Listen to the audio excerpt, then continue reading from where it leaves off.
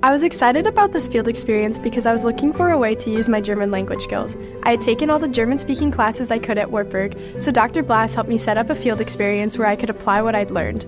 Working with the students is really fun. They are heavily engaged with the material and have a great interest in learning the language. They hit me with difficult questions from time to time and always keep me on my toes. It's been a great experience. After I graduate, I hope to get my PhD in economics to work in finance or foreign exchange for a bank. I'm grateful that Wartburg helped me connect with opportunities that I wouldn't have had in other places.